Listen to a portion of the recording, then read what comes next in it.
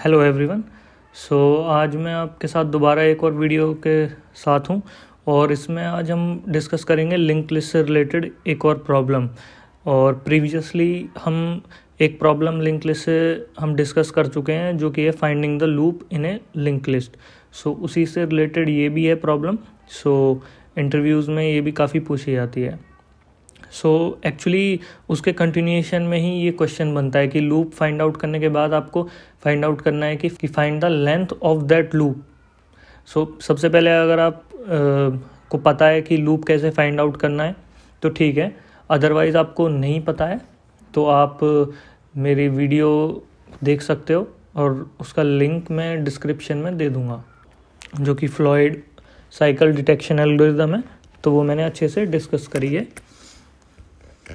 So after that अगर जब आपको कॉमन पॉइंट मिल जाता है, अगर आप फ्लाइड साइकिल एल्गोरिदम यूज़ कर रहे हैं मतलब स्लो फास्टर कॉन्सेप्ट अगर आप यूज़ कर रहे हैं स्लो एंड फास्ट पॉइंटर जो स्लो पीटीआर है एंड फास्ट पीटीआर है, वो मीट कर जाते हैं कॉमन पॉइंट पे।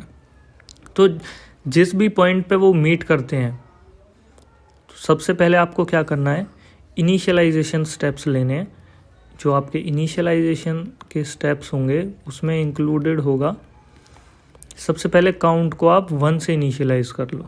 सो so, अगर कोई लूप है तो एटलीस्ट वन से ही चालू होगा। मतलब सिंगल नोड तो एग्जिस्ट करेगी ना लूप ज़ीरो लेंथ का तो हो नहीं सकता। तो एटलीस्ट वन लेंथ का लूप तो एग्जिस्ट करेगा। तो काउंट को आप वन से इनिशियलाइज कर लो। और एक टेम्परेरी नोड में स्लो या फास्ट पॉइंटर जो भी है, क्योंकि दोनों तो सेम ही है, किसी को भी सेव करके रख लो।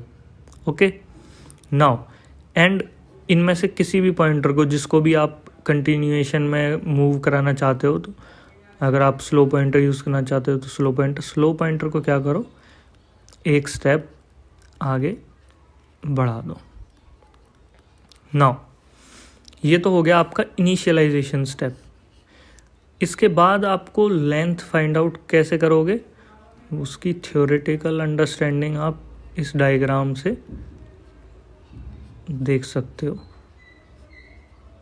सपोज़ ये एक लूप था लिंक लिस्ट में ओके नाउ एंड ये आप सपोज़ कर लो कि ये आपका कॉमन पॉइंट था जहाँ पे स्लो पॉइंटर और फास्ट पॉइंटर मीट करे थे। तो इसके बाद हमें फाइंड आउट करना है कि लेंथ क्या होगी इस लूप की।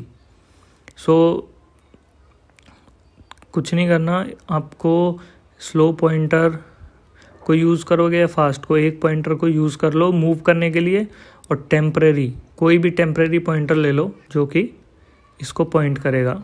तो उसके अंदर ये सेव कर लो इस नोड का address okay now now slow pointer को वन बाय वन मूव करो।